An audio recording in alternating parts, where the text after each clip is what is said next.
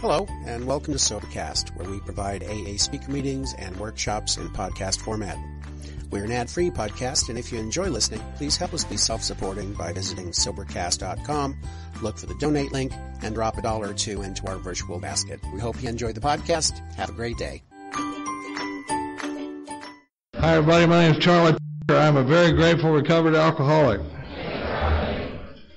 My sobriety date is March 22nd of 1985, and I am truly grateful for that. It's the most important thing, one of the most important things that ever happened in my life. I, uh, we're real excited to be here. Uh, had went through a, a, series of airplane flights to get here. I uh, that one from uh, Tupelo, Mississippi, over here was uh, 19 minutes. 19. It's, uh, that's just up and down, and I'll, I'll get to uh, my level of nervousness in that later in the story. But I, uh, it was. That's the shortest flight I've ever been on, I believe. Well, no, yeah, that's even shorter than the one I'll tell you about here in about 40 minutes. But I, uh, I'm, I'm real happy to be here today. Uh, Randy and Lynn have been doing a good job taking care of us. I want to thank everybody on the committee and, and, uh, you know, that had anything to do with getting us here. Some of you folks we met before and, you know, just anybody that had anything to do with putting this thing on, we're real grateful for it. And we're just, uh, you know, and if you, if you've been around AA for a while, you know that, that it takes a lot of people do a lot of work to get something like this to come together. And, you know, and if it's like the group that I come from, there's also a lot of people didn't do a darn thing. But, but they have a lot of ideas about how it could have been done just a little bit better, you know, you know, so, uh, so for them we got a, a position on the committee for next year, you know, I, uh, I'm here, uh, I, uh, I got my wife Katie with me. I, uh, Katie is, uh, well, she's sober five months longer than I am, and she thinks it's a really big deal. Uh, you know, uh, uh, stand up and say hi, to everybody, Katie. I just, I, uh, I like to think of myself as some of her best work. I, uh, and boy, that is not kidding. I mean, you know, but you know, most people don't really understand the size of the job she had. Uh, you know, I hope to talk about some of that, uh, you know, as we go along. But it's it's really fun because I mean she's going to talk Sunday morning, and, and I'm telling you, she is a, a powerhouse. She's sometimes. Um, Sometimes she's kind of like getting a drink from a fire hose, but uh, you know, you know, some, some, you know, you get you get a little more than you're hoping for sometimes. You know, one of my one of my sponsors said, "Boy, when you read inventory with Katie, it's like she digs, and then she digs a little deeper, and then you dig a little deeper." And, but anyway, we're gonna we're we're just real excited about everything that's going to go on this weekend. I uh, I've show up here in a coat and tie for uh, because uh, I have a lot of respect for the tradition of Alcoholics Anonymous and and uh, my sponsorship lineage. It was it was okay if you didn't want to wear a coat and tie. You just and you still had to do it, but uh, if you wanted if you wanted to do it under protest, that was just fine, you know. But I, I got to tell you, I don't know what it looks like from where you're sitting, but my, the bulk of my experience in a coat and tie before I got to this fellowship, I had a very simple job. All I had to do was stand there, and when it came my turn, I'd say, "No contest, Your Honor." you know, I mean, that's about it. So you know. I'm not sure what we'll talk about tonight, but you know, in AA we talk about talking from our own experience, and that, and that's one of the things that's that I really like about AA. And, and I, I got a little joke I like to tell to kind of just get warmed up and get some of the nervous off I'm in. Some of you uh, may have heard this joke before. A couple of you probably heard me tell it before, but it's a good joke, and I like the way I tell it, so I'm, I'm gonna I'm gonna I'm gonna tell it again. But it, it's about this old guy. He's driving along this old country road and he sees a sign on the on the fence post and it says "talking dog for sale," and he can't stand it. You know, he stops the car and he goes up to the barn and he, or the farmhouse. And he says, "So you got a talking dog for sale?" And the guy goes, "Yeah, he's around back." And he walks around back and there's this red hound dog laying there and, and he, he looks at the dog and he says, so, so you can talk? And the dog says, well, I certainly can. And he goes, Good grief, how did that happen? He said, Well, when I was young, I started picking up some of the language from some of the kids around me and stuff. And as I got older, I started getting more advanced and developed some of the nuances of the language and picking up slang terms and that sort of thing. And he said, you know, it's, it's just made for an amazing career for me. He said, I had a, I had a 19 year career in the Drug Enforcement Administration. I was, I was able to infiltrate some situations that no human agent would have ever been able to get into. And he said, but, you know, and, and I've, I've eaten in some of the finest restaurants in the world and stayed in some of the finest hotels, but really more interesting than all that, some of my pups have started developing uh, foreign language skills and, and have become international diplomats. And, uh, you know, I've, I've got two pups that are in the United Nations right now. And uh, he says, it's just been a fascinating life. And the guy says, boy, it has really been a treat talking to you. I, you know, and he goes back around front where that old farmer's sitting there whittling. And he goes, how much do you want a dog for a dog like that? And the guy goes, I don't know, 30 bucks? And he goes, why would you sell a fantastic dog like that for 30 bucks? And the guy goes, Oh, none of that crap he told you is true.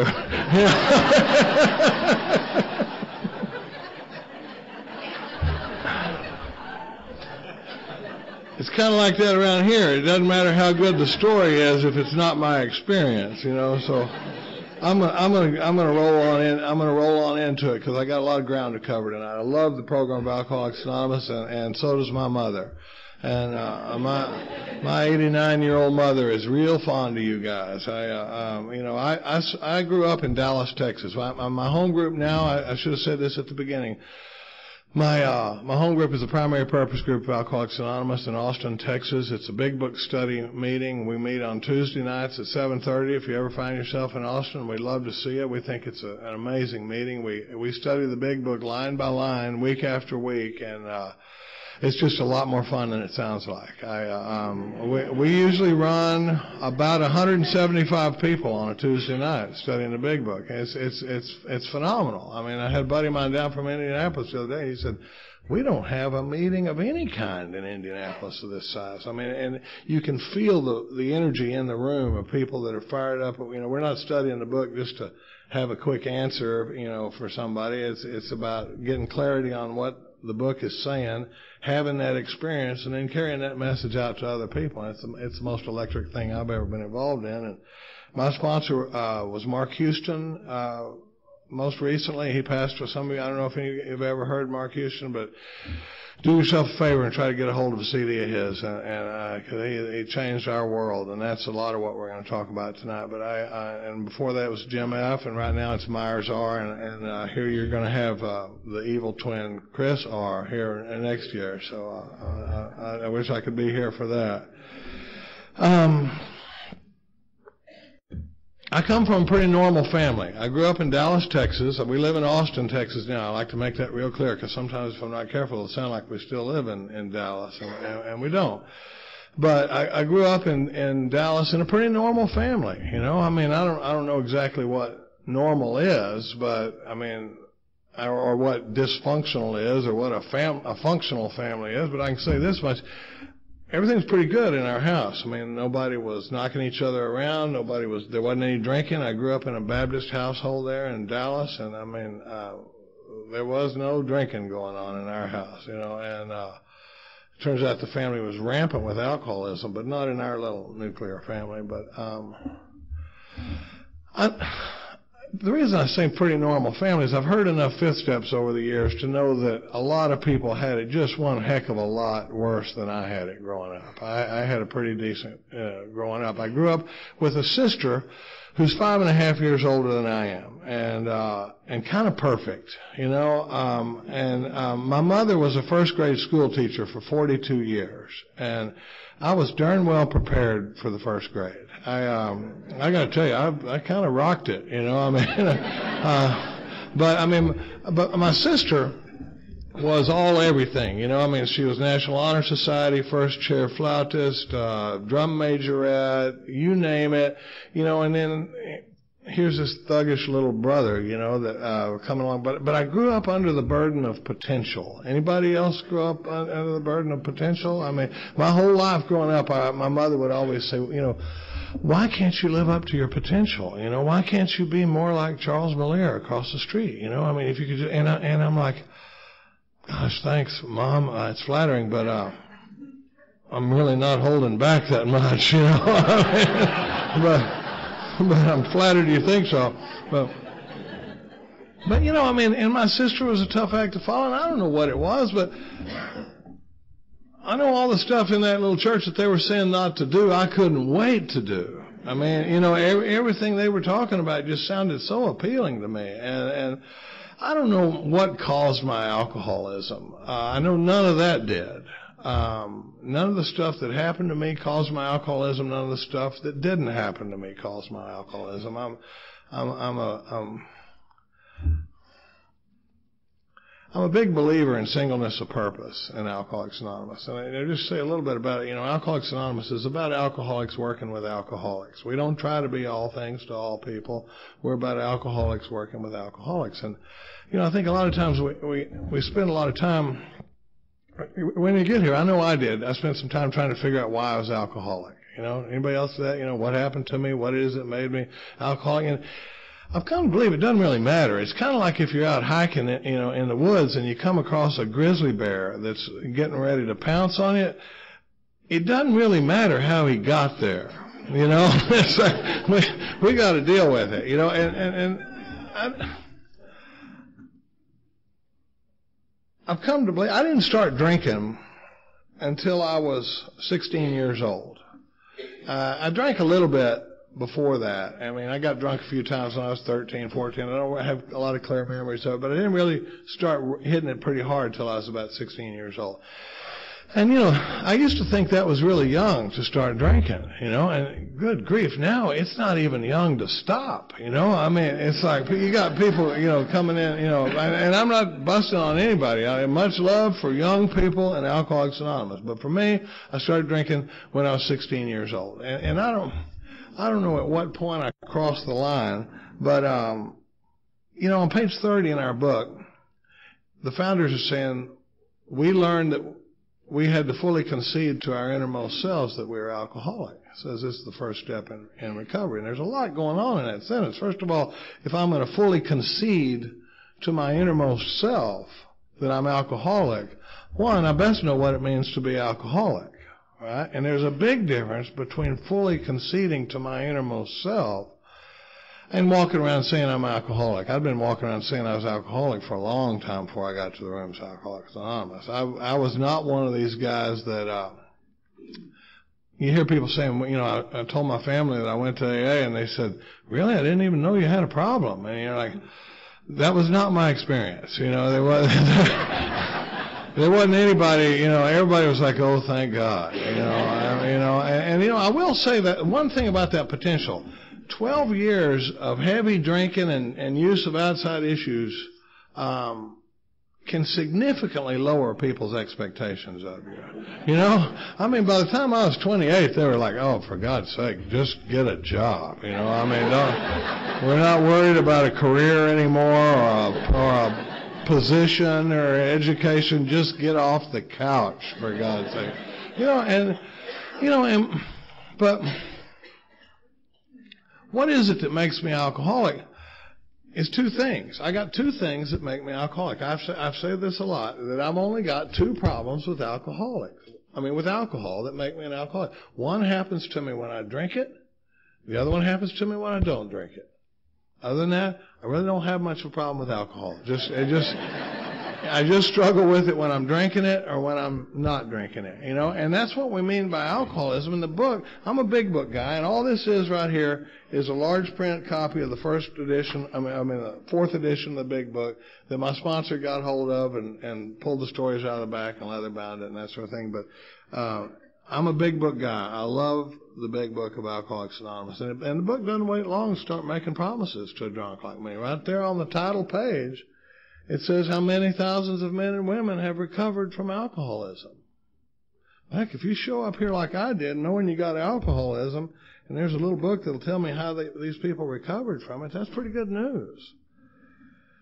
Well, what is it that makes me alcoholic? And the book does a beautiful job of describing it in the doctor's opinion in the first 43 pages of the book, but it talks about that I got two problems with alcohol. One happens to me when I drink it, and that's the physical reaction, the physical aspect of alcoholism that makes me different from my sister. My sister is not alcoholic. She never will be. She doesn't, she doesn't, you know, I can't pour enough vodka in her to make her alcoholic.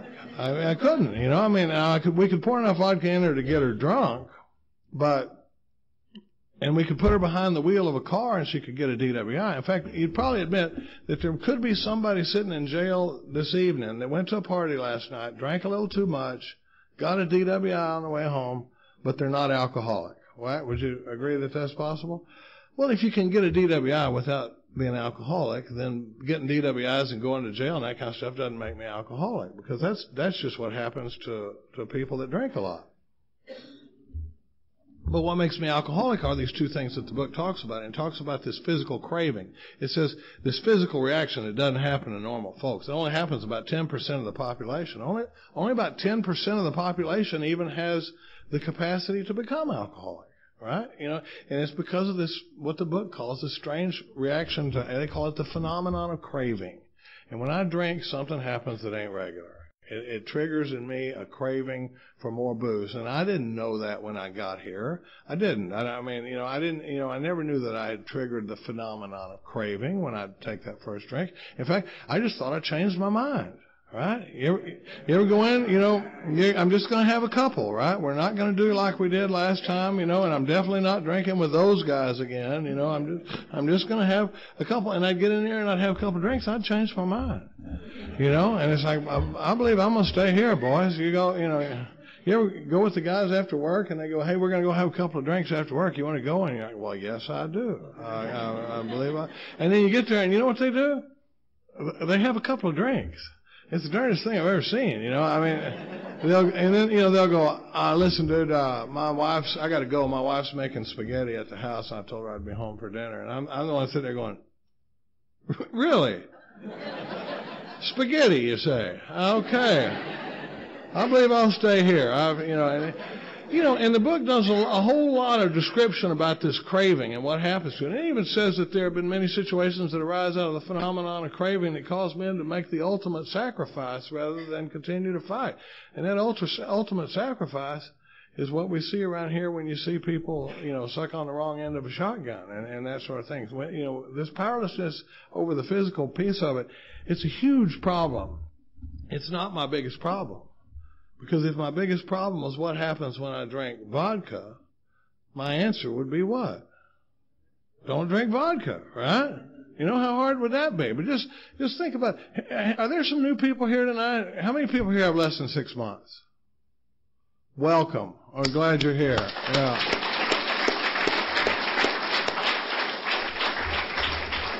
Because believe me, I spent a good deal of time sitting around the rooms of Alcoholics Anonymous, raising my hand, saying, "My name's Charlie. I'm an alcoholic," and I had no idea what it meant. I figured if there is such a thing as an alcoholic, I'm I must be one because I didn't know anybody that drank more than I did. I mean, I always say that the the shortest version of my drinking story is that the guys that I drank with thought that I did too many outside issues and and the guys that I did outside issues with were shocked by my drinking. You know, so everybody I knew thought that I was getting a little too loaded. You know, I mean, I always related to there was a band that got sober. The whole band got sober by the time I did, and I loved the quote. They said they knew they were they were crossing the line when the guys in Motley Crue told them, you know, you guys need to back it down just a little bit. You know, I mean, when you got these death metal groups telling you, man, you guys got to slow it down some. You know, I mean. But anyway, let's keep rolling.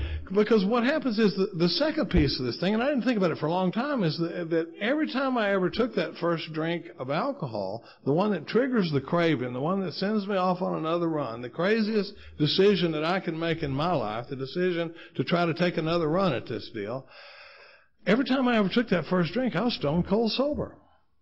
Right? I can't blame the first drink on being drunk. I make that decision sober because of what happens to me when I don't drink alcohol. When I don't drink, I, after a while, it gets pretty bad. You know, when I don't drink, my problems don't go away. If if your problems go away when you stop drinking, it's it's a different thing than alcoholism. For me, when I'd stop drinking, it seemed like somebody turned the heat up on them bit, you know. And you know, Harry Tiebout wrote a paper one time called "The Ego Factors and Surrender in Alcoholism," and it was brilliant. There was a line in there where he said the recuperative powers of the alcoholic ego are astounding. You know, and what he means is, you know, I'm the guy that, you know, I mean, think about that day when you were calling detox to see if they had a bed. Oh God, I'll do anything, right? I'll do anything, anything, anything. You know, I can't live. Now you give me about two weeks and I'm going, I don't really like this place very much, you know. I don't. I don't like the counselors here. I don't like. I've been looking for the suggestion box and can't find it. You know, I mean, you know, I don't, you know, I know, I mean, and because after a while I get uncomfortable. You know, when I when I don't drink for a while, and the book calls it restless, irritable, and discontented. And after a while, I need some relief.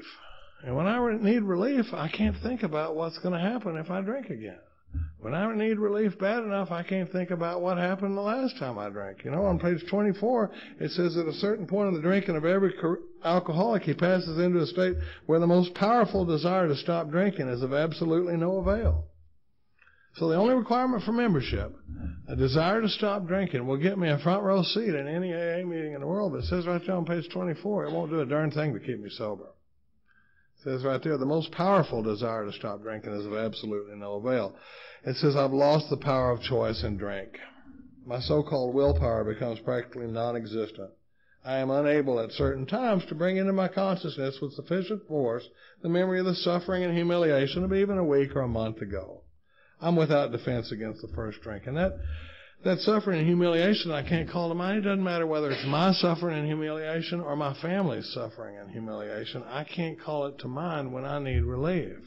When I, you know, so it always blows me away when we have a, a new person come in the room and they have a, you know, well, let's do a step one meeting, and everybody tells their war stories and talks about all the terrible things that happened, you know, when they were drinking, like, like we're going to scare this new guy into getting sober, you know. I mean, when you know, page 24 tells me that my stuff won't scare me enough to keep me from taking the first drink. You know, why, why would I care what happened to Randy? You know, I mean, it's not like I'm going to be in the, in the beer store one day grabbing the cooler and going, oh, hold on a minute. Remember what that guy said in the meeting the other day? I don't, I don't want any of that. You know, I mean, when I need relief, uh, it's coming. And I, and I always say, you know, we could talk about this a long time, but if, if you're somebody that can make up your mind to stop drinking and pull it off, you don't even belong in Alcoholics Anonymous. You know, I lost the power of choice and control somewhere along the line. And, uh, you know, one of the things I like to talk about, I mean, it started, because our book says men and women drink essentially because they like the effect produced by alcohol. Any argument on that one? You know, I mean, I probably still love vodka more than most people that are out there drinking it tonight. But I mean, I, I think it's a little understated, you know. I mean, to say that I like the effect produced by alcohol. I, I like banana pudding, you know, but I loved the effect produced by alcohol. The first time I got loaded, I remember thinking, oh, we're going to do this a lot. You know, and from that moment, it moved to the center of my life, and I didn't even know it. But any, I didn't, the thing I really didn't know was that anything that interfered with me and my drinking was going to get moved out of my life. If my job got in the way of my drinking, the job's going to have to go. If a girlfriend says, if you don't stop drinking, I'm going to leave you, I, I'd be thinking, well, honey, I don't want you to leave, and I like what we got, and I don't, you know, and I'll try to taper down, and I won't do any of that, and I won't do any of this, but in my heart, I knew if you're talking about not doing anything ever, you're probably going to have to go, you know because that's just not available for me. And it's because somewhere along the line, you know, I mean, like I said, it was working real good early on, and then, and then it started getting a little sloppy. You know, one time I'm leaving a bar in a blackout, and uh, uh, I was a blackout drinker. I uh, um, I blacked out a lot regularly. I uh, I always drank for oblivion, and Katie was not a blackout drinker. Katie was a brownout drinker. Um, but and and turns out she was vulnerable to things in in blackouts that I didn't have to worry about. Let's just say that, you know, and, you know, because, but one night I'm leaving a bar. I'd had five Long Island teas, and I, uh, by the bartender's count, and I leave, and I'm and I'm in my mother's station wagon. Yeah, I wrecked every car my mother ever owned. I. Uh, I should tell you that I was so poorly treated as a child that I finally ran away from home for good at the age of 28. I'm, I'm, I'm not kidding either. I never went back. You know, I, uh, but but I mean, I'm leaving in this, and I and I ram into a car. I'm in a blackout, and what brought me out of the blackout was this impact and I can see the fender sticking up, but we're still rolling. I drove Katie by the scene of the crime just the other day. The car's still rolling, so I keep my foot on the gas, and I get the car down and around the corner, and I grab my shoes. For some reason, my shoes were off, and uh, and I go running back towards the bar to report the car stolen, and. Uh, And, and I got to tell you, this is not an extraordinary night in the life of Charlie Parker. This is just kind of the way things rolled back then. But I'm running back to this bar because I, I'm going to take anything but personal accountability for this accident. And, uh, and I run back, and as I'm running back, uh, under this line of trees over here where I'd hit the car, there's glass all on the street, and there's two cops standing out there, and they had their flashlight like this, and they're shining them, and there's glass everywhere in the street. And as I'm running with my shoes in my hand, I remember thinking, "Good grief, man, they got here fast." You know, I mean, because I, I just hit them, and uh, and so uh, the next day. Uh, the police called and they said, Mr. Parker, you're going to have to take a polygraph test in order to get your car back. And I said, why is that? They said, well, it was involved in an accident before it was reported stolen. And I said, you're kidding. And they said, no, uh, they ran into a parked police car. and you remember those moments of clarity. I, I remember thinking, that explains how they got there so fast. You know, because I've been a little foggy on that one, you know, but I mean, but but I mean that's what I'm talking about. When things started getting started getting sloppy, but somewhere along the line, I lost the power of choice and control over alcohol. Talks about it on page 44. It says if when you honestly want to, you can't quit entirely, or if when drinking you have little control over the amount you take, probably alcoholic. And well, the way it showed up for me, I don't know when I crossed that invisible line. I think that's why we call it an invisible line. But but somewhere along the line, it started getting really sloppy because one of the things I loved pawn shops. I love pawn shops. Where's my Where's Chad? Where's my boy Chad? He said he was a pawn star earlier. I uh, I loved the pawn shops because. Was that, here he is. He, I see you. He wasn't going to put his hand up. All right. Say hello to these fine people, Chad.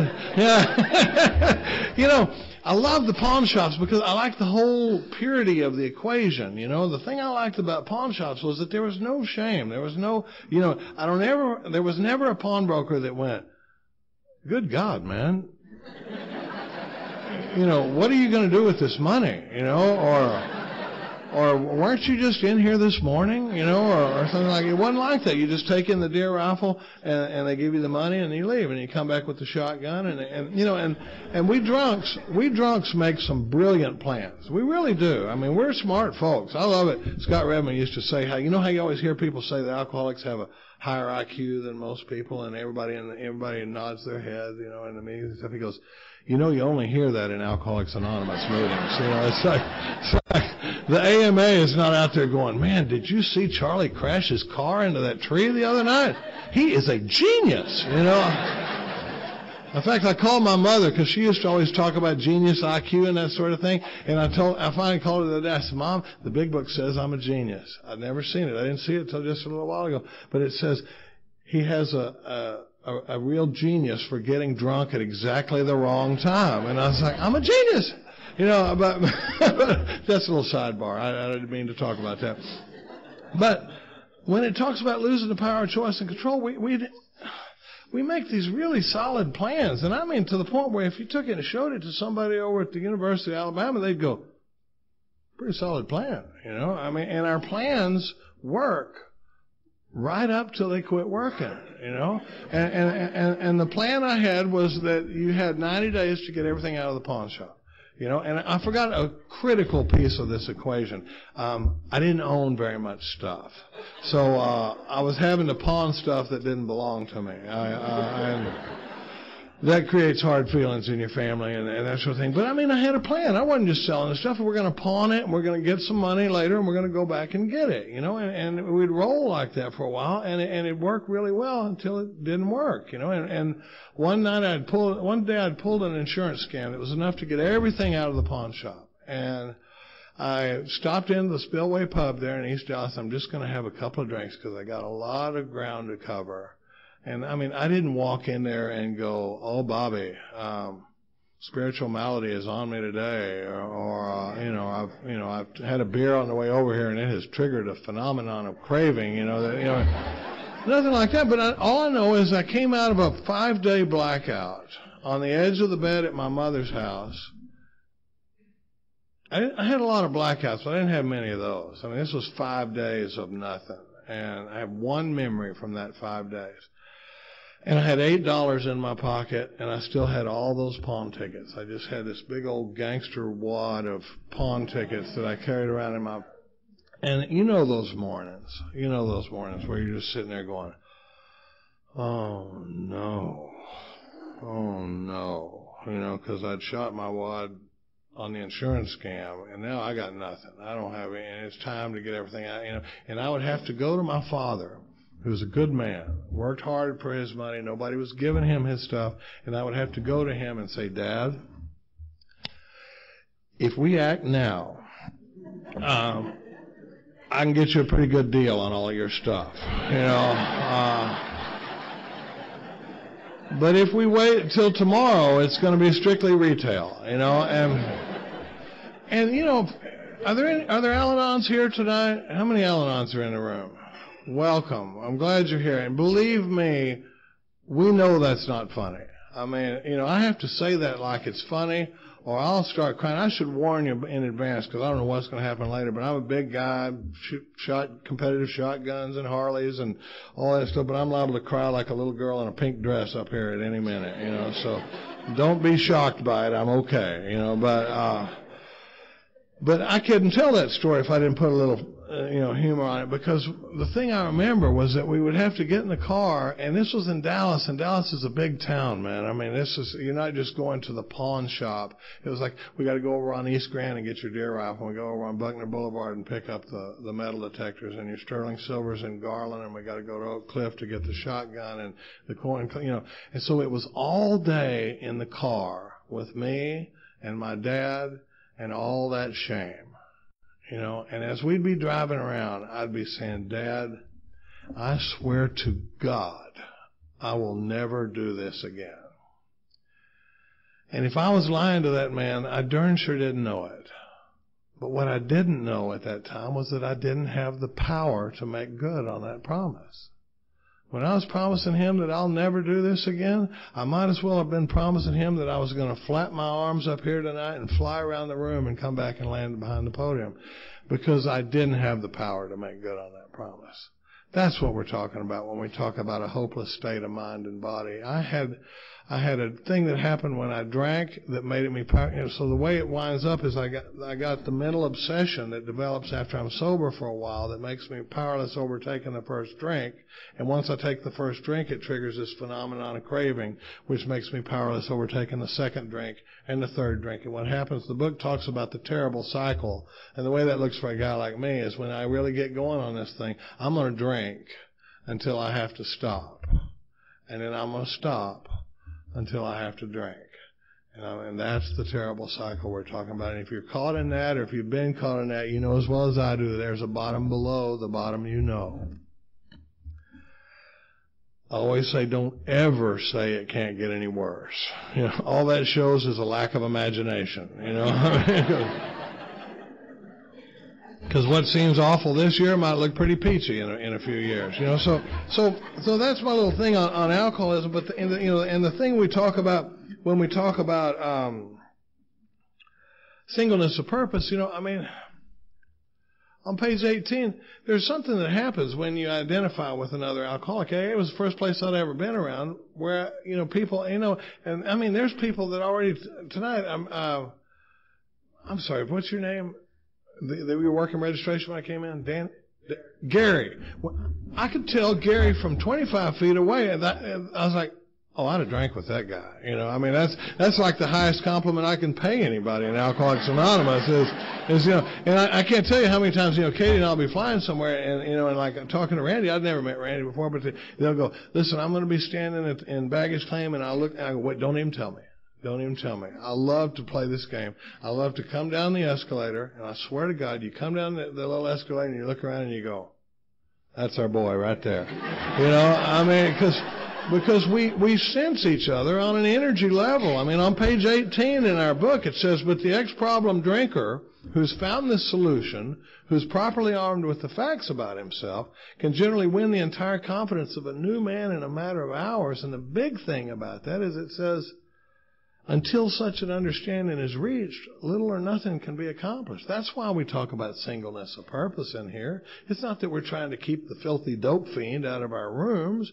um, if you're alcoholic and anything else, welcome. But we don't, I don't talk, you'll never hear any of my sponsors saying I'm an alcoholic and uh, anything because it doesn't matter. What we're identifying about in here is being alcoholics. If I go to another fellowship, I'll identify what's going on in that fellowship. But in here, saying I'm an alcoholic and a whatever, it'd be like saying I'm an alcoholic and a Texan or an alcoholic and a contractor or something like that. That's not what we're, you know, that, but that identification is so important that, I don't know, I like to say a little piece about that because I didn't hear anything about that for a long time.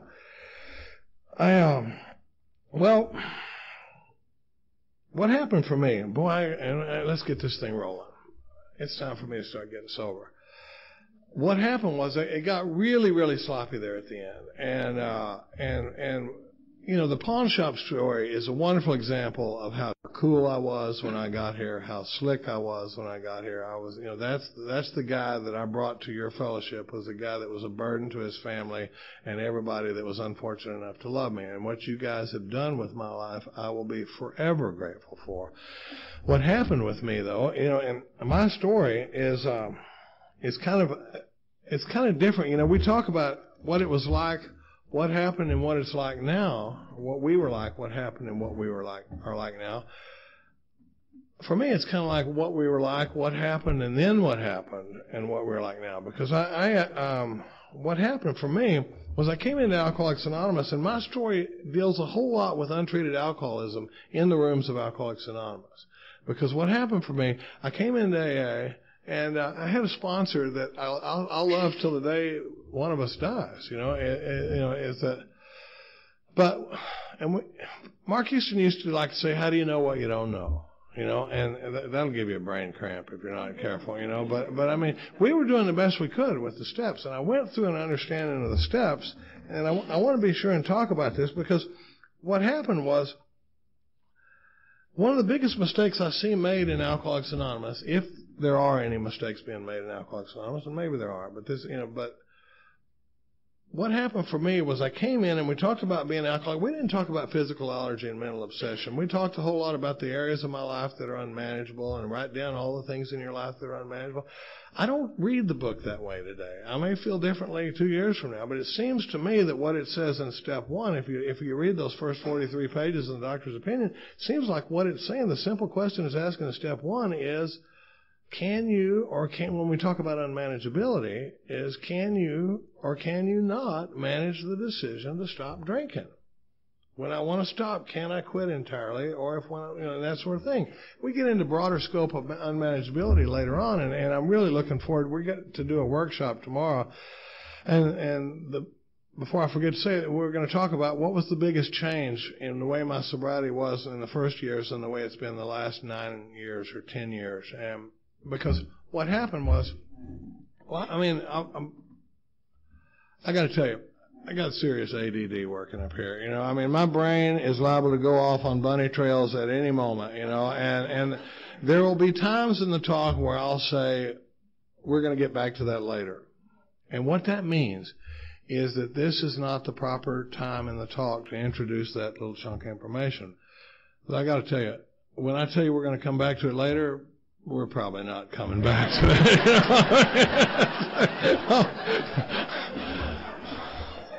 I always get real excited when I actually circle back around to one, you know, but sometimes I'll be going along and I go, Katie, what was I talking about? You know, but but one of the things that happened was I, I came in and it, basically it was, a, are you alcoholic? Yeah, and we talked a little bit about it, and then uh, and then all the th- and then it says are you willing to believe that there could be a power that can take you beyond where you are today? And if I said yes, we went right to the third step prayer. That was my experience in a, you know, in, in, in fact, we've seen, you know, after that A, B, and C, says A, that we're alcoholic and could not manage our own lives. B, that probably no human power could relieve our alcoholism. And C, that God could and would if you're sought. And I got to guys because normally around the country, that's where everybody chants like a bunch of high school kids at summer camp. I, it drives me out of my mind. You know that you know they always God could and would if He were sought. Do, do they do that anywhere around here? Because you guys didn't do it at all. You don't have to do it. I, the thing I the, thing I was going to tell you is that the chanting in AA is it's not AA. It's optional. It's come in through the treatment centers. I love the treatment centers, but they send us people, and, they, and if we're not here saying, and you look like a jerk if you're the one going, oh, sorry, pal, we don't we don't do that around here, you know. But I mean, but for God's sake, when I came in, you know, it, they would do the Lord's prayer, and they'd go, keep coming back, right? And then it was, keep coming back. It works. Then it was, keep coming back. It works if you work it, and you're worth it. So work it. And I'm like, oh, for God's sake, you know. I mean, you know. Oh, I always picture this poor new guy coming in going, geez, I want to stop drinking whiskey, but do I really have to do all this shave and a haircut, two bits, you know, and, you know, all this, I mean, but I digress. Uh, you know, that's my, that's my little rant on chanting. But I, the only, the only thing I'm saying is you don't have to do it. You know, in fact, you know, well, I'm not quite done yet. You know, it turns out amen is an awesome way to end a prayer. You know, I mean, we're the only fellowship that would take the Lord's Prayer and go, I think we can end it a little better than Jesus did. You know, I, you know, it's a, I'm just saying, you know, but, but well, I better be careful. That, that, know. What happened for me though in that C? It, it says the next line says being convinced. We're at step three, right? Being convinced of what? A, B, and C. Well, this is what, a lot of what we're going to talk about tomorrow, but what happened for me was we went right from see that God could and would if we were sought. If you agree with that, then he said, let's get down on our knees and do the third step prayer.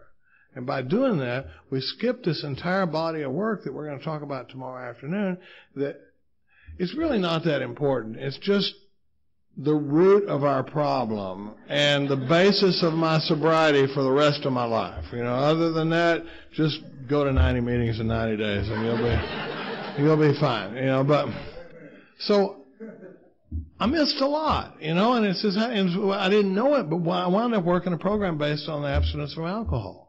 Right? And I was the guy that was in the meetings, you know, thinking, you know, I didn't drink. And you know that guy. I mean, I was the guy that was, you know, uh, left work, left for work an hour late this morning and screamed at my wife on the way out the door and slapped one of the kids and kicked the dog and burned out of the driveway and got to work and looked at two hours of internet porn and left an hour and a half early and played some internet poker and got a half gallon of ice cream on the way home, but by God, I didn't drink today, and that makes me a winner. You know, you know. no, um, that kind of makes you a Nimrod, dude. You know, I mean, but better than when I was drinking. But I mean, I was, I didn't know I was doing this. There was never a time in my sobriety where I made a conscious decision to to to do middle of the road sobriety. I just I thought I was doing AA, and and and I was going to a lot of meetings, and I was very involved in the fellowship. But it turns out it's mentioned in the book that I was in constant collision with something or somebody, even though my motives were good you know, and it felt like I was killing myself out there trying to be sober. And, you know, and I hit the wall at four and a half years sober, and I hit the wall at seven years sober. And we're going to talk about it a lot more uh, tomorrow afternoon. But what happened was, I didn't have anybody. T- in my mind, I'm thinking, you know what? I've tried this deal your way, and I'm getting knocked to the mat every time I step into the ring. I'd blown up two relationships back to back, had two babies, two child support checks things were going ugly. To say I was in constant collision was an understatement. You know, I was overdrawn at the bank all the time, and and and it was a little stressful. You know, I uh, um, you know. Well, I could tell you some stories about that. But what happened was, at about seven years, I made a conscious decision to pull away from AA a little bit. I'd been working a program based on rigorous honesty, and all this stuff. And what happened though, when I kept hitting the wall in sobriety, I didn't have anybody. I'm telling myself I'm running up against the failure of AA, right? I've tried to, I didn't have anybody telling me, Charlie, you're not running up against the failure of AA. You're running up against the failure of self-will. This is what it looks like when you try to run the show yourself. Well, that's what we're going to talk about a whole lot tomorrow. And, uh, well, so what happened was, I go off into a, a relationship. Uh, I should point out that Katie and I were litter mates. We we sobered up just darn near the same time. Essentially, can we say essentially the same time? I mean, you know, is five months really that big of a deal? you know, you know, she thinks so, but um, she'll tell you about it on Sunday. But but um, we were best friends for 20 years, and she was married the entire time I knew her. And I mean, we were literally like brother and kid sister. There was zero flirtation or sexual energy or anything like that. She was like my kid sister, and we were very, very, very close. And uh, well, but so I go off into you know, I'd been in two marriages. I got married again. I'm, and now Katie's not approving of any of these marriages. I mean, she's watching out there and just like going, "What are you doing?" And you couldn't have stopped me with a chainsaw. You know, I mean, and I, I lose sight of what how prodigious self will can be sometimes. I mean, you know, because I don't I don't blame my problems on Jim or anybody. I mean, I, you know, I, I'm not saying nobody was saying that stuff on pages 60 to 63, but if they were, I wasn't trying to hear it. You know, I'm sitting in the rooms of Alcoholics Anonymous and I am self-will run riot. Well, what happened was I go off into this marriage, and it's uh, I married a woman out of state. It was a commuting marriage, and she had an awful lot of money, and the lifestyle was really good. And we had a penthouse apartment in Manhattan and a beach house in the Hamptons, and and a lot of this stuff was going on. We're traveling all over the world, and it was it was the most dishonest relationship I've ever been in. And I should point out to you in case she ever hears the CD, that the most dishonest thing about that relationship is that I was in it she was not at all getting the deal. You know, it's funny when you start looking at that self will stuff in, in 60 to 63, it's unbelievable. I mean, how it can rewrite history for me. I mean, my first marriage, if you'd asked me 17 years ago or, or 50, you know, 20 years ago when I got that, if you'd asked me what happened to that marriage, I would have told you she's cheated on me and I don't roll like that, you know, and I mean, that was the end of it and that sort of thing. And I would have believed it. But if you ask me today, given the current level of work we're doing and that sort of stuff that's happened since Mark Houston and what stuff I hope we get a chance to talk about, I would tell you there's a very good chance that I was exhibiting a level of selfishness and self-centeredness in that relationship that would have driven anybody out the door. It's a huge shift but it happens as a result of this work. What happens was, I'm in this relationship, and one day, um, we're leaving the Hamptons, and I had some friends up, and we had chartered a plane to fly from Bridgehampton, from the East Hampton Airport out there into New York City, and uh, and we're going to go to dinner.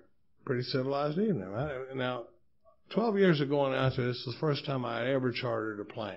I've been a gambler my whole life, right? I know about odds, but we're flying out over the Peconic Bay, and I'm sitting in the in the in the passenger seat, and uh, you know, there's Shelter Island, and there's this, and all of a sudden we're it's very very quiet, you know, and and we're in a glider at about three thousand feet above the water, and uh, and I put on the it was a charter plane. The pilot's right right here, and I put on the the headphones. And what you don't want to hear your charter pilot ever saying is, "Come on, come on, come on, come on," you know. And he's he's jacking those controls, and and uh, and they go. Uh, they said. Um, you're cleared to Gabreski, and there was an airport right there at 10 o'clock. And, and he says, you don't understand. I've lost engine power. I can't make land. We're going to have to ditch. And I'm like, what? I mean, I'm a gambler. What are the odds of that? You know, the first time we ever charter a plane, we're going to put it in a drink. You know. Long story short, you know, he says brace for impact. You know, and you're like, does anybody know how to do that? You know, I mean, I, and we hit the water, and it's like six. It's nighttime. We hit the water. It's like splash down at Six Flags times a thousand. I mean, it's noise and spray, and the windshield comes in, and the cowling comes off, and and then absolute silence. And all of a sudden I'm like, I think we're okay. Right? I mean, we survived this deal. And right about that time, let me tell you, this wasn't much of an airplane. Really awful boat. You know, I mean, I mean, right about the time I'm thinking we we made it, I feel something on my knee and it goes up like that. And by the time I go up to get some air, and I've tried the door and it won't come open, and I go up to get some air and there's nothing but water in the roof of the plane. And that's when I remember thinking, so that's it. So that's it. I die in this stinking airplane today. You know, and I started jacking that door and it came open. And we talk about selfishness and self-centeredness. I can tell you when that door came open, my first thought was, I'm out. I'm out. You know, I'd like to tell you my first thought was my wife or my dog or the pilot or something like that. I pulled out, I got some air, I went back down, got the wife, went back down, got the dog. And long story short, out of five, there were five adults. The only non-survivor was our dog because the the dog drowned in the plane. But we all got out. We actually revived the dog for a while, but he died two days later.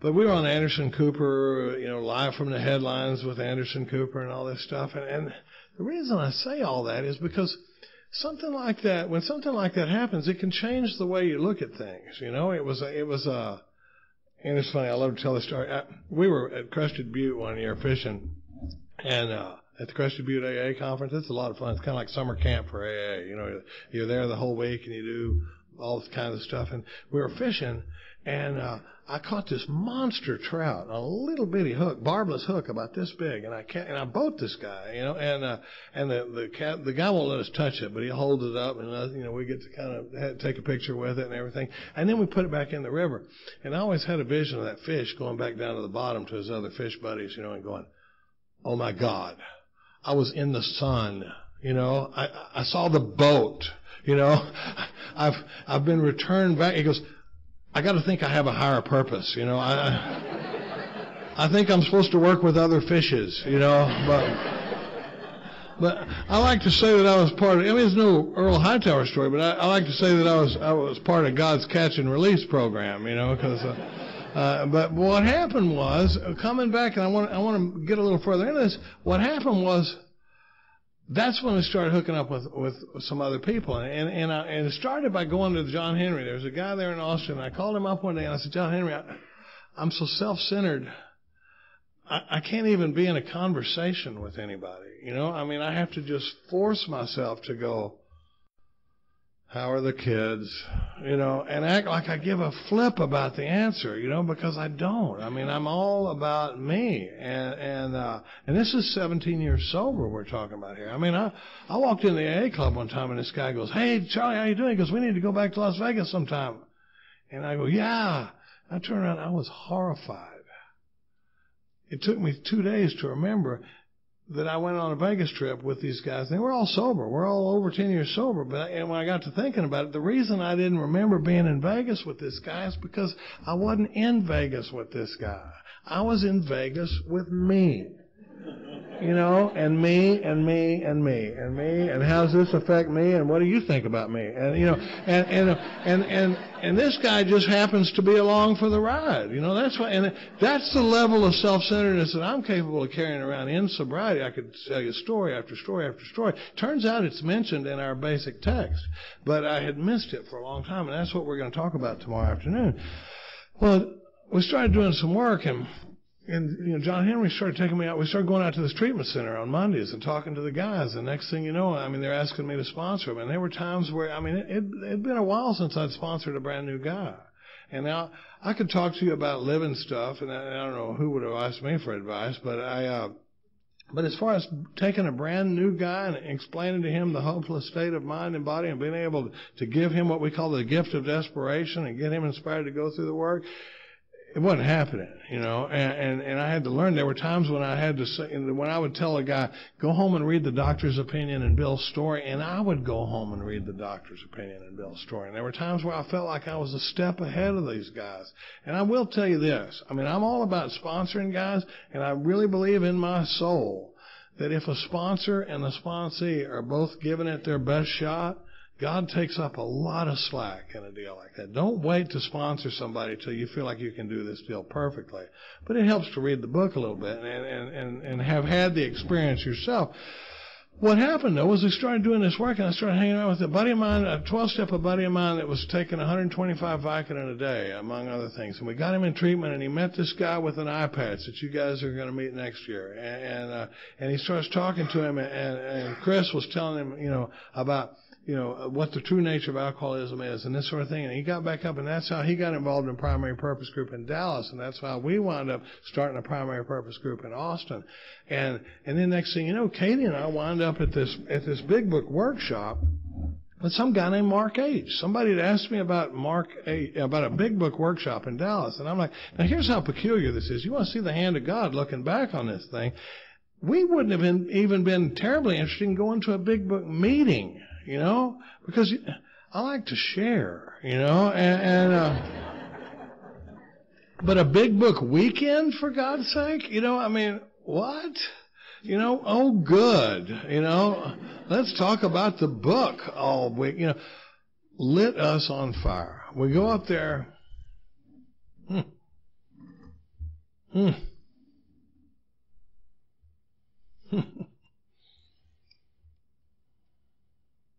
There's a guy sitting up there, his name's Mark. And, uh,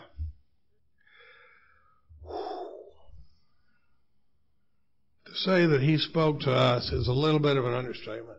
There was a guy, and I mean, everything he said, I felt it right in here. I felt that connection like we were chained together. And he, he's saying stuff, and at one point I lean over to Katie and I'm going, what book is he reading from? You know, I mean, I've I've been around AA for 17 years. I've never heard some of the stuff that he's talking about. And I mean, this was clearly a dude that was taking this thing to a whole nother level.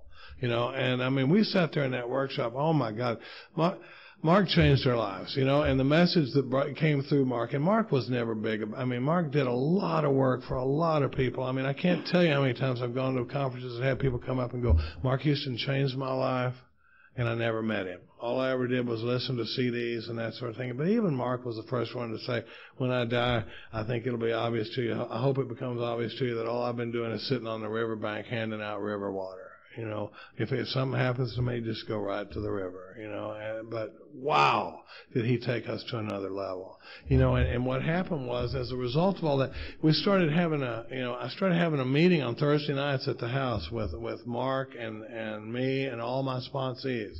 And, and, and there was never one time that he walked into that house that I didn't know it was a big deal you know, that this is something significant, that he's taking time out of his schedule to come spend an hour with us every Thursday night. And there were times where he'd just blow us out of the water. One night he called me on the way home. He goes, Charlie, I got to tell you, something. I kind of feel like I'm running that meeting. I go, Mark, let me tell you something. You're running that meeting. You know, I mean, it's like, believe me, we need to hear what you're saying, you know, and, and so, you know, what happened was, but I mean, he talked about, when he talked about how do you know what you don't know, uh, we work. He started working with a lot of stuff, and he sat down and he started talking about working, the, doing the amends process. You know, actually making all of our amends, becoming willing to make amends. To, you know, the first time he sat down, you know, that was the first thing he talked about. Because you know, when you start working with a new guy, what's the first thing you want to do? When you want to go back through the work, first thing we want to do is write inventory. Right? We're thinking we're all going to get together and write inventory. And and he sits down there one night and he goes, "What happened to your amends from the last inventory you wrote?" And you're like, "Oh, um." I'm, I think they're in a drawer, um, you know, in my office, you know, because what happened was, you know, I was amazed before I was halfway through, you know, and, and, uh, and, you know, and, and that list has a way of making its way into the drawer, you know, and, and that very first night he goes, I, I have a feeling that there's a significant experience available to you guys in the amends process. And we thought he was like Swahili or something. I mean, we're like, how does he know that? You know, and, and, and we started doing the work and we started, you know, really getting, oh my God, I'll never forget when, when the first workshop where he, he brought this guy, he kept talking about the disciplines of 10, 11, and 12 and living within the strict spiritual disciplines of 10, 11, and 12 and discipline is the horse I ride. And when I'm practicing the strict spiritual disciplines of 10, 11, and 12 and, you know, Katie and I are out there going, la la la la la la la la please, please shut up you know, because we're not even the neighborhood of the of the strict spiritual disciplines of 10, 11, 12. He, I got time for the story. He brings this guy up and during that workshop, I'll never forget it. He brings this poor guy up and he says, Paul, would you come up here and sit down? And the guy comes up here and he goes, Paul, tell me. He says, uh, they both got microphones. He goes, tell me, Paul, do you meditate? And the guy goes, well, Mark C. He says, I'm a, I'm a truck driver. And, uh, sometimes I meditate when I'm driving the truck and, you know, that sort of thing. And I'll think of it. And Mark goes, okay. He goes, a couple of things, Paul. First of all, when you're driving the truck, we really need for you to be about driving the truck. You know, I mean, we, we really don't need a guy hurtling down the road in a tractor trailer rig meditating. You know, and he goes, second of all, in the future, when I ask you a yes or no question, I'm going to expect a yes or no response. So I'm going to ask you again if you meditate, and it's important to me for you to say no. and Katie and I are sitting there going, Woo, man! Am I glad he didn't call me up there? You know, But I mean, Mark was like that. He used to say he was big on yes or no questions because he he said, you know, you can ask an alcoholic if they're married and you get a five minute answer. You know, it's like that was yes or no. You know, so but you know what? So what happened? Um, we're going to talk about a lot of the stuff that I like to talk about all the time in step three. My biggest change in it, I had my biggest spiritual awakening at 17 years of sobriety. And a lot of it happened with a completely new understanding of step three. And I hope that some of you can come uh, tomorrow and talk about it because we actually have time to talk about it at great length tomorrow. But you know, what happened was when we started doing all this stuff on selfishness and self-centeredness, because what happens in my life is it's not a battle of, of am I going to drink or not drink. Now that's there and that's coming. That's a huge problem. But in sobriety, it's a struggle between self-will and God's will. Self-will and God's will. Consciousness of, I've, I really only got experience with two powers in my life. One is God and one is self and it's which one is running the show today. And because what happens for me in sobriety after a while is self will starts rising up, God's will starts dropping down, and before I know it, God's will is off the table. God's not even a, a part of the equation, right? And, you know, and so what the way that shows up for me, there's a, a the 12 and 12 actually says we can have faith in God and keep Him blocked out of our lives. And the way that shows up for a guy like me is I'm going, oh yeah, yeah, man, God is awesome, right? I mean, God took away my drinking problem. I mean, God is the deal, you know. I mean, and and I don't need him for this, you know. I don't need him for this thing with work, and I don't need him for this thing with my wife or my kids or my money. Or, but I mean, if I ever get a really big problem, I'll bring God right in, you know. And, and you know, and it's like in the meantime, I'm going, take a knee, God. I'll let you know when it's time for you to go in, you know.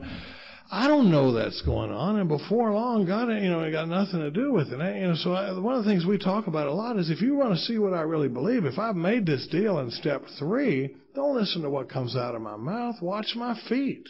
That's how you'll be able to tell what I really believe. If I'm telling you I've made this deal with God in step three, where if I, He'll provide what I need if I stay close to Him and perform His work well, would you be able to tell that if you followed me around?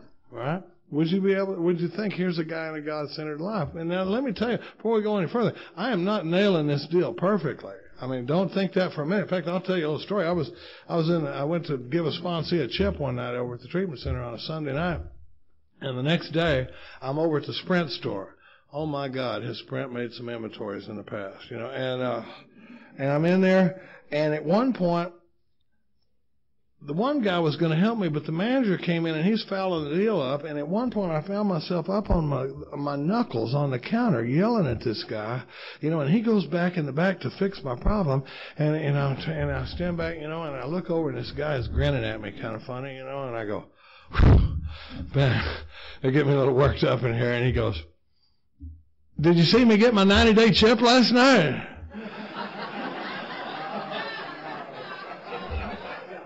Here I am, you know, Mr. 22 years sober, you know, and I go,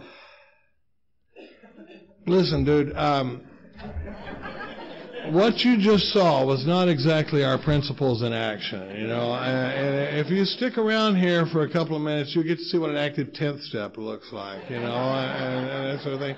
But I mean, it's getting better all the time, you know. And and you know, I don't know, I, I don't know what else. The thing that I worry about now are y'all familiar with the bedevilments on page 52? Where it talks about we're having trouble with our personal relationships. We couldn't control our emotional nature. We were prey to misery and depression. Couldn't make a living. Had a feeling of uselessness. We were full of fear. We were unhappy.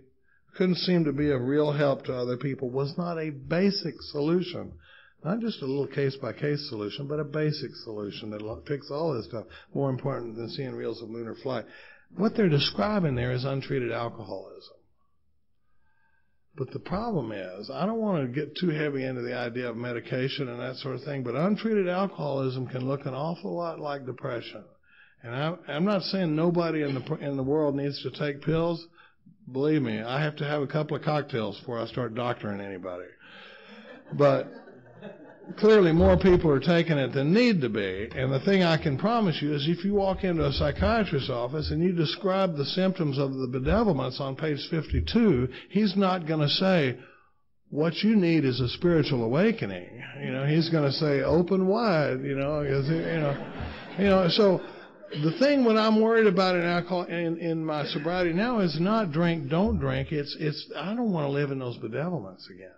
I'm scared to death to go back to living in the bedevilments in sobriety. You know,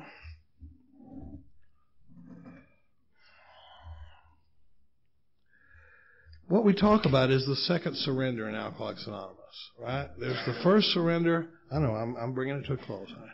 There's the first surrender, which is the surrender to alcohol, and that's pretty easy, you know, because it comes off of having your butt kicked, right? I mean, when I get here, it's pretty easy for me to calf up with alcohol and stuff because I've been whooped. The second surrender is the hardest one, and that surrender is the surrender to self-will.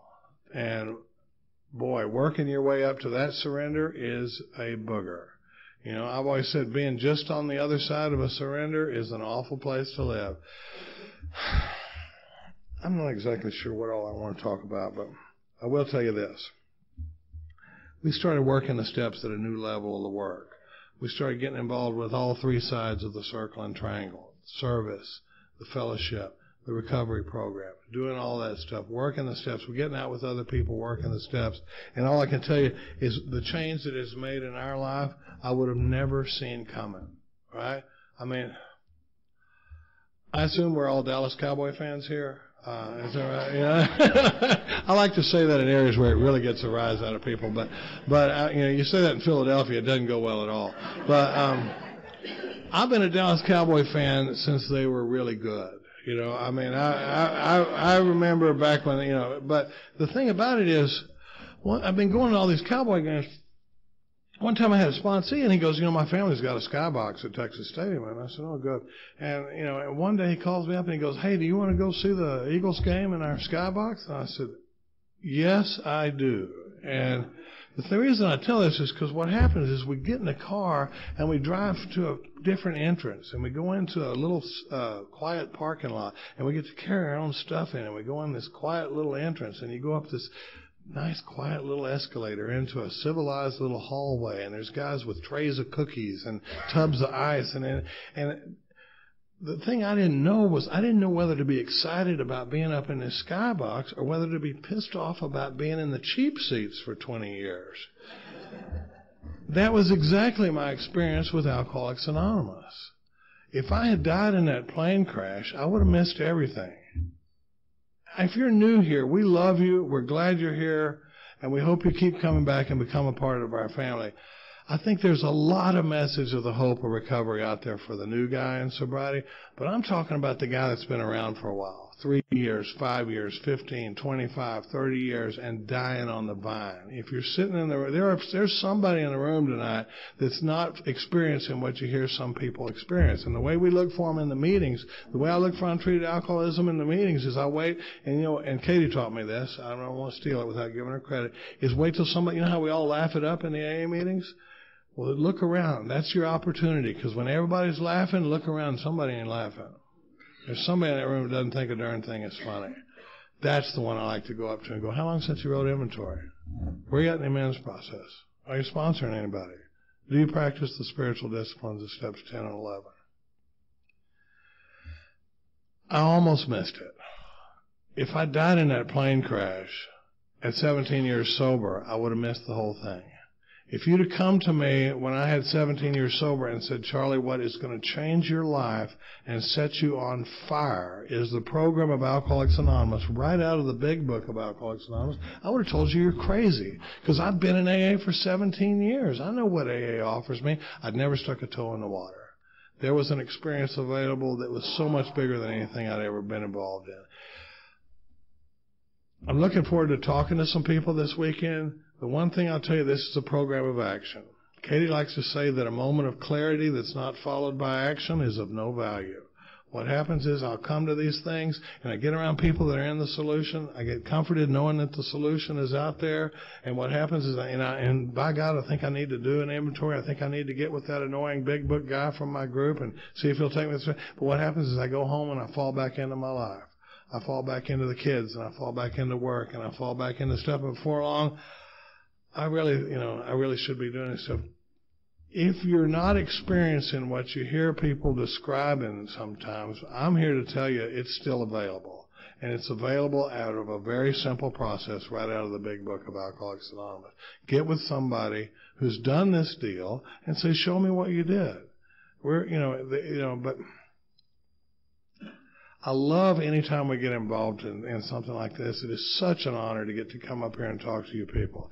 We love the program of Alcoholics Anonymous. We love the fellowship of Alcoholics Anonymous. And I want to wish you guys a, a wonderful conference. And, and uh, I look forward to speaking with anybody the rest of the weekend. Thanks a lot.